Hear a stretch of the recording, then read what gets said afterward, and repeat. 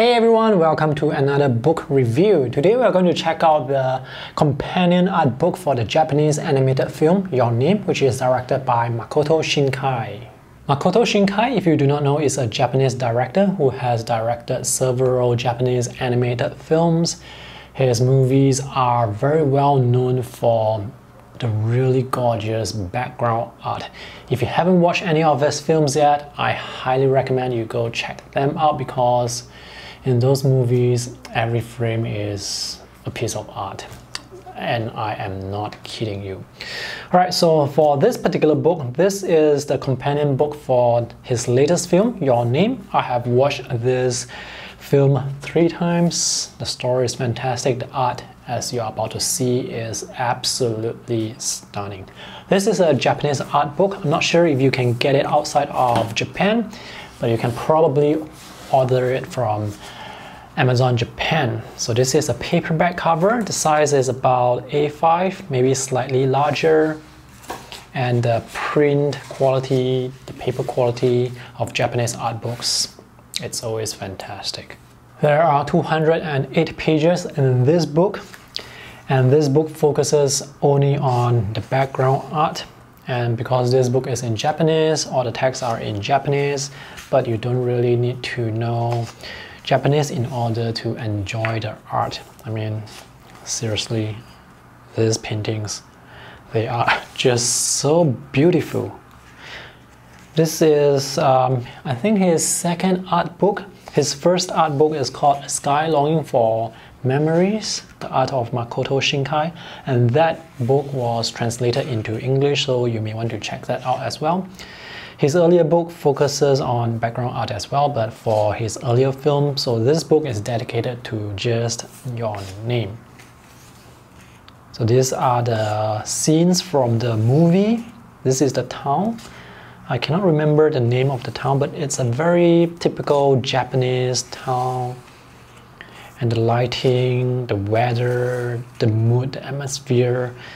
It's so gorgeous. I mean, this is the sort of place you want to visit after looking at the film. In fact, in one of the um, locations that is featured in the movie, it has sort of become very touristy because um, it was featured in the film. And it's actually a very mundane um, uh, scene like it's just a flight of staircase, but because the director Makoto Shinkai painted it, actually it's his team who painted it, and reinterpret the scene until it's so beautiful that uh, people were so captivated by that image that they actually went down to visit the actual place. The place that inspired some of the background art in this book. So these are actually the actual background art that is used in the movie. These are not concept art, they are the actual art that is used in the movie. So the characters, the animation will be drawn, I think, on a separate layer on top of the background art.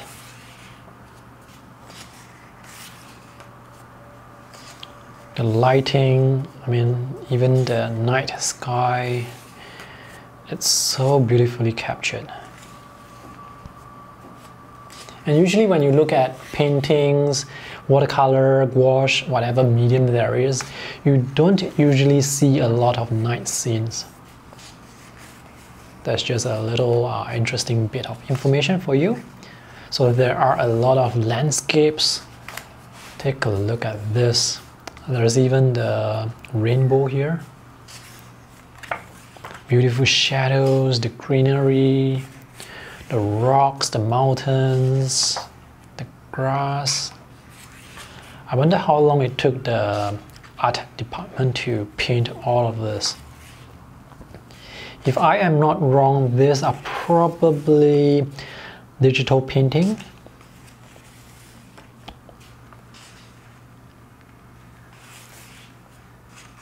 I think there are some spoilers here. So this is a very typical um, Japanese info card that you get when you buy Japanese art books. I shall not talk about the story because um, you really have to watch the film to really enjoy the story. I'm not going to spoil it for you, except to say that it has a mix of time travel, mystery,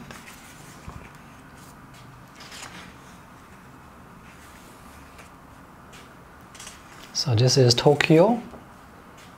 So the characters would move from Tokyo to the town and back to Tokyo and to the town. This is the Tokyo train station if I am not wrong. Just look at the details in this and here as well.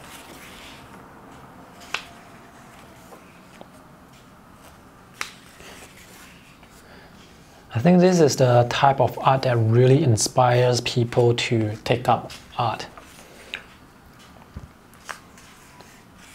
At least for me, when I look at this type of paintings, I really, it makes me fall in love with art, not just with Japanese animation, but really um, fall in love with art. Because with art, you can create scenes like this, and even if you have a photo, uh, sorry, even if you have a camera, you won't be able to uh, recapture scenes like this. Because with cameras, you have to rely on the situation, the circumstances, you have to rely on the lighting of the day, the weather. But with paintings like this, you can take a reference photo and work from the reference photo and adjust the lighting, you can make your own interpretation.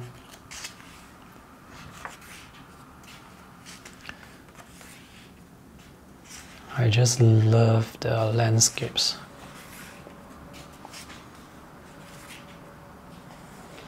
You know, while I'm flipping through this book, I just feel the urge to go and watch this film for the fourth time.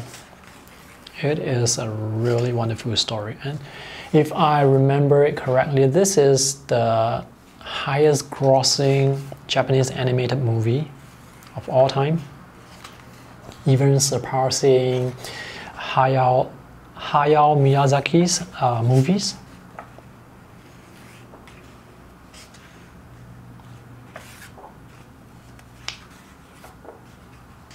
So Japanese animation is very popular in Japan and worldwide. It's not going away anytime soon, even with the even with the popularity of 3D animation, I think Japanese animation, 2D animation is here to stay.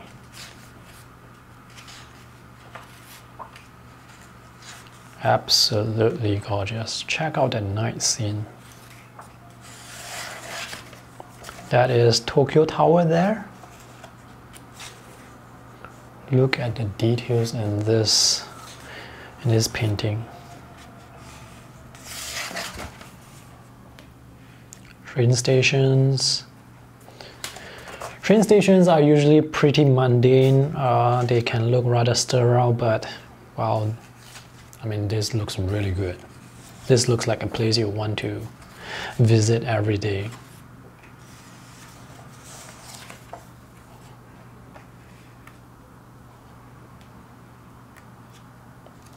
This is so beautiful.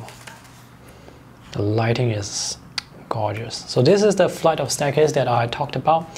So in the last scene, the characters were standing on the staircase looking down at this town. So this has become a popular uh, touristy place for taking photos. And that's all for this book. This is a book I can recommend easily to fans of the film, people who love landscape art, or people who just love art in general. This is a very beautiful book. The official retail price for this is about 3000 Japanese yen on Amazon Japan. That price includes tax. If you're buying from Amazon Japan and shipping out of Japan, the tax will be deducted from that price, so it's going to be less than 3000 Japanese yen, but that price doesn't include shipping, so you have to add that later on. But uh, for the price, I think it's really worth it. I will put the link in the video description below so you can know where to find this book as well as a list of other books that I would recommend that are quite similar to this book. So that's all for today's book review. If you want to check out other book reviews, you can visit my website parkablogs.com. There are over a thousand book reviews over there. Thanks for watching. See you in the next video. Bye.